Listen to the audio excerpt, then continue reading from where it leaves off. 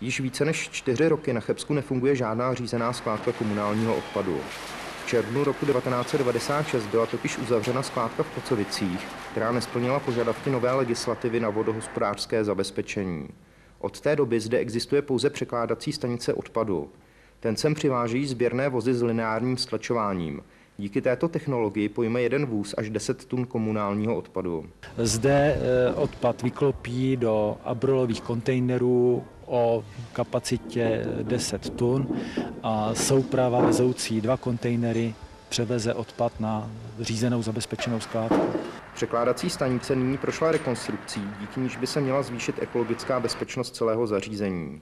Nezanedbatelný by měl být i vliv na ekonomičnost provozu a tak by snad neměly v Chebu ceny za svoz komunálního odpadu v nejbližší době stoupnout.